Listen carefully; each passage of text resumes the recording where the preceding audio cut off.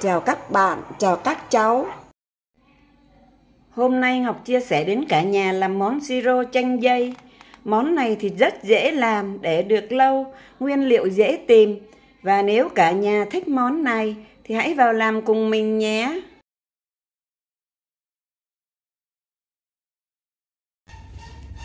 Mình có hai cái rưỡi chanh dây, 750g đường, 2 gam muối là 1 phần tư muỗng cà phê. Bây giờ mình đi cắt chanh dây làm đôi. Và chanh dây mình mua được những trái đỏ như vậy nè, là chanh dây chín cây.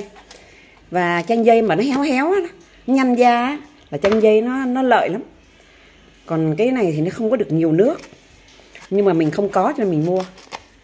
Đó, những trái về nhiều nước, còn những trái nào nó mốc mốc ở trong đó là chanh dây dây hư. Và mình đã rửa sạch sẽ rồi. Đó, chanh dây rất là nhiều nước.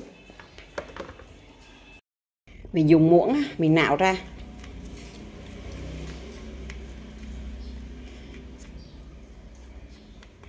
Chanh dây, trời nắng này có chanh dây uống thì rất là ngon và dễ làm. Mình để trong ngăn mát tủ lạnh thì mình để được rất là lâu. Ta có thể để nhiệt độ phòng cũng được.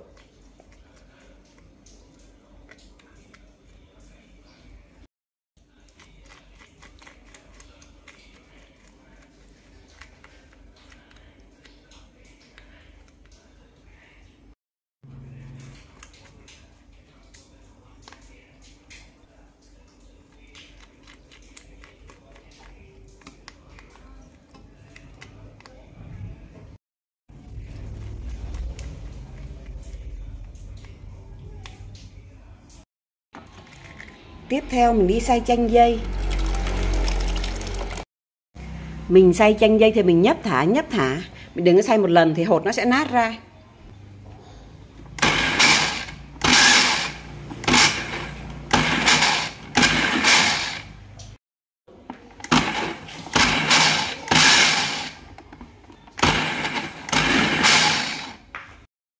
Xay xong bây giờ mình cho qua rây. Mình cào cho nó hết, xuống hết cái nước.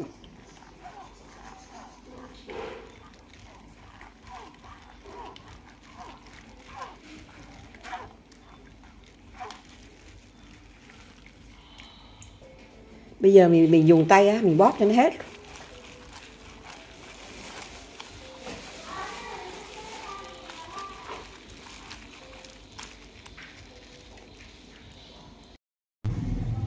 Tiếp theo mình đi nấu chanh dây. Mình cân được 700g chanh dây Thì mình cho 700g đường. Bởi vì chanh dây của mình hôm nay nó không có héo Cho nên là nó hao.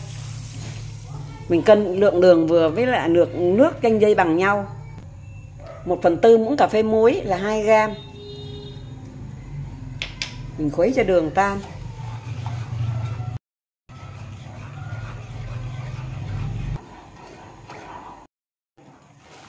Lúc đầu thì mình để lửa to.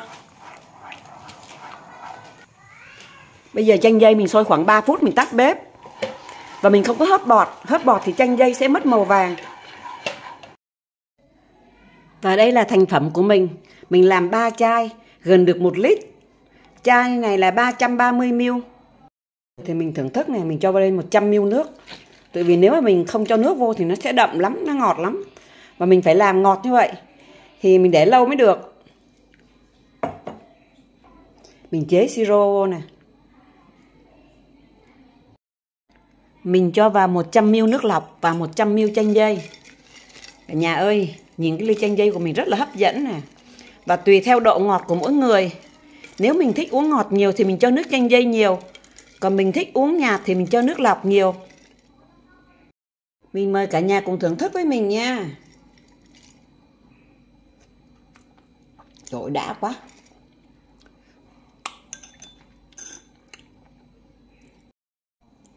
Trời nắng như vậy mà có ly chanh dây uống thì rất ngon. Mình làm xong, mình để ở ngoài nhiệt độ phòng thì để được cả tháng. Và để tủ lạnh thì để được mấy tháng. Mình nấu thì mình không cho nước vào thì mình để được rất là lâu. Mình muốn đi chơi xa thì mình mang theo chanh dây và mang theo đá. Khi cần thì mình uống rất là tiện mình khỏi phải mua nước ngọt. Món này thì ta có thể làm để uống hay để kinh doanh rất là tiện và dễ làm video của mình đến đây là hết chúc cả nhà thành công Nếu cả nhà thấy thích thì hãy like, đăng ký và chia sẻ cho mình nhé. Cảm ơn cả nhà đã xem video của mình. Xin chào và hẹn gặp lại.